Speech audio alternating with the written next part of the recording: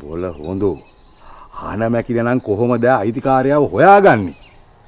එහෙන්න හොයල බලන්ටෝට මේ හරක කාගෙට හරකගේ කකුල් කීයක් තියෙනවද? උගේ අන් දෙක තියෙනවද? වලිග තියෙනවද කියලා හොයල බල්ල දෙන්ට බෑ අයිතිකාරයට මීගොන්නාම්බ බාරදෙන්ට බට නොහගුණේද ඒකත් එහෙම නිකන්දට බෑ. ඌ වත්තට කරපු අලාභහානිය ගනම් බල්ලා ඒ අයිකොරගන්ට පෑ අයිතිකාරයකින් බොල හොඳෝ? ඔය වත්ත පිටියට විච්ච පාලුව මහාගානක් ගණ්ඩ බෑනොවෑ ඕ නැනම් තුට්ටු තුන හතරක් ගත හැකි. අනික ඔය ගොන්නාම්බ පාලු කරැව්වේ තුලාන රාලවිච්චි මගේ වත්ත පිටියනොව ඒක හොඳ කොහමද බල ඒක හොඳ වෙන්නේ? පොට මේවා පැදිලි කොරනට වඩා පහසුවී මට අර ගොන්නාම්බට පැදිලි කරන එක ඒනම් ගොන්නම් බදක්කගෙන එන්නද? ඒ ආවල් කාරියකටද පැදිලි කොරන්ට ඒ බොට නැත්තේ අන් දෙකයි වලිගෙයි විතරයි. අතගාල බලාපි ඒකත් එනවත් දන්න.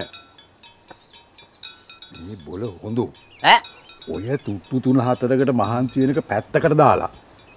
ඔය ගොන්නාම්බා අයිතිකාරයෙක් නැති එකේ අපේ පට්ටියටම කොටු කරගමු කියලයි මං කියන්නේ අත්වලා මේ එතකොට ගොන්නාම්බගේ අයිතිකාරය ගොන්නම් බොයාගෙන ආවත්තේම හරීඉතින් ආවාය කියමුකෝ.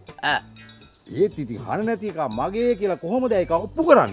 යපේ ඔය තේරුණේ ඔය තේරුණේ අත්වලා මේ ගොන්නාම්බගේ අයිතිකාරය ගොන්නාම්බ හොයාගෙන ඔහොක් කරගෙන එනකොට ගොන්නාම්බ පට්ටිය ඇතුළ ඉඳගෙන කිව්වොත් ඒම මම මේ කියලා. එතකොට? එතකොට මං මෙහෙ කියයි බෝගේ හරකැක් කියනග එක ඔත්තිය දුපියන්ඩ ගොන් හොරකා